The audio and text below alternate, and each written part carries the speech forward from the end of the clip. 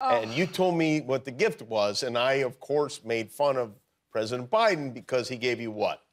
Okay, this is so embarrassing, Jimmy. I thought that he gave me a shoehorn. A shoehorn. He gave me a bag of like President Biden goodies and like M&Ms and stuff, and I was like, what is this weird thing?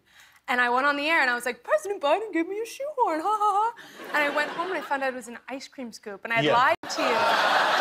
Well, you didn't lie. You just thought that this was a shoehorn. Guys, is- so bad. It's very obvious that I don't know what a shoehorn looks like. Like, does that look like a shoehorn at all? It doesn't even look like an ice cream scoop, Honestly, See, that's what I'm saying. I don't know what it looks like, but okay, so this is for ice cream. It's a weird ice cream scoop. I know.